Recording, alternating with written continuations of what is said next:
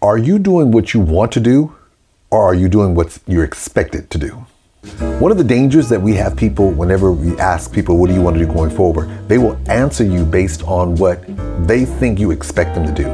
If you're in a particular job, if you're in a particular career path, if you're pursuing a particular degree, your answers may not necessarily be based from a standpoint of what you're passionate about and what you really want to see happen. It's really more of this underlying thought of, well, this is what's expected to me, so my response is going to be consistent with that. When you are in that place where you have people asking you that question, start asking that question to yourself first and ask yourself if somebody asked that question to you, how would you answer? If that answer doesn't come from a place of purpose and passion and interest in doing what you want to do, you got to really be honest with yourself to ask yourself, are you really doing what you want to do or are you doing what people expect you to do?